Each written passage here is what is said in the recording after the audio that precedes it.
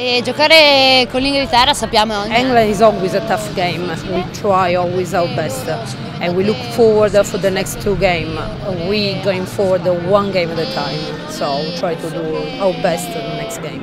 This is was this was uh, the result of the game. We can actually score a little bit more, but that is the game we done. Uh, okay. The most important thing is to play 80 minutes. So we working on this uh, to try to keep uh, for all the games. We've been uh, improve of all the tournament. Uh, we try our best on the next two games because we don't start very well. We try to get better in the next two and of course we try to win some games.